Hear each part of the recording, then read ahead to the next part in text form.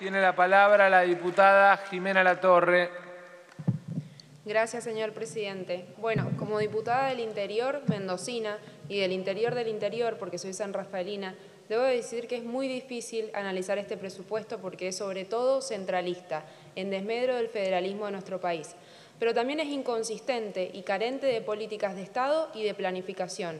Y para no caer en la misma parafrasería de la que eh, acuso al oficialismo, de la que podemos, con la que podríamos calificar a este presupuesto como un tímido esfuerzo o una planilla de Excel indexada sin políticas y sin planificación, voy a dar ejemplos concretos de por qué califico hacia el presupuesto. Es inconsistente y tan inconsistente es que ni el mismo Poder Ejecutivo cree en este proyecto, ya que 43 días después de su presentación ya han puesto en ejecución un presupuesto paralelo. Y esto se explica ya que el mismo día que se presentaba el presupuesto, se anunciaban restricciones cambiarias. El mismo día, el tipo de cambio superaba el proyectado para el 2021 y la pauta inflacionaria obviamente quedaba muy lejos de la anunciada. Desde ese día, los hechos demostraron que es un presupuesto mentiroso, incoherente, y esto revela una hipocresía política y dirigencial que nos pide a gritos volver al cauce del bien común y sobre todo la necesidad de discutir un presupuesto coherente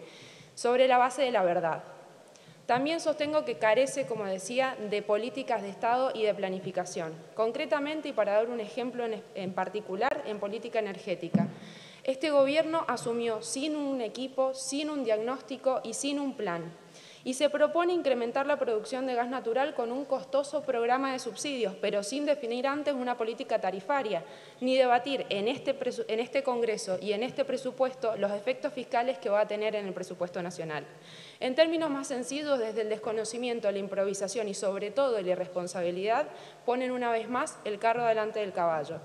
Para quienes se jactan de querer volver al modelo del 2014, bueno, hay que reconocer que en el 2014 batimos récord mayor nivel de importación de los últimos 10 años de GNL, mayor nivel de importación de los últimos 10 años de gas natural y mayor caída de la producción de los últimos 10 años, 41,5. A ese modelo es al que queremos volver. La industria argentina es una industria gasificada y esto significa nada más y nada menos que depende de este insumo energético para funcionar, para funcionar, para producir, para generar puestos de trabajo, para exportar. Y si hay algo peor que pagar el costo real de la energía, es no disponer de este recurso energético y esto quiere decir desabastecimiento. Las medidas en materia energética son un sinsentido, son contradictorias, son irrealizables, son un verdadero populismo energético. Este gobierno pretende, como decíamos, incrementar la producción local, el 70% del presupuesto para energía va a Camesa, la administradora del mercado eléctrico mayorista. Se le da el doble en presupuesto para subsidios, pero se le licúa la deuda de las distribuidoras, más de 115 mil millones de pesos con un régimen de condonación definido a criterio discrecional del señor secretario de Energía. Esto, sin lugar a dudas, es una política del toma y daca que para justificar el congelamiento tarifario va, a significar resignar la infraestructura energética de nuestro país, la calidad del servicio, las inversiones y la posibilidad de nuevas, de nuevas conexiones para sostener esta, esta reactivación productiva con la que tanto se llenan la boca. Párrafo aparte merece el Plan Gas 4, anunciado hace tan poco con bombos y platillos por el presidente de la Nación. Bueno, hay que avisarle que en este presupuesto no está contemplado el Plan Gas 4.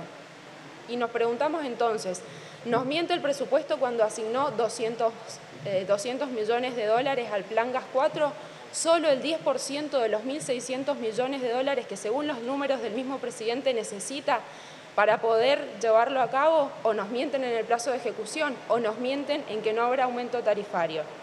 En conclusión, esta fiesta de subsidios sin planificación, una vez más, la va a pagar el sector productivo y la clase media.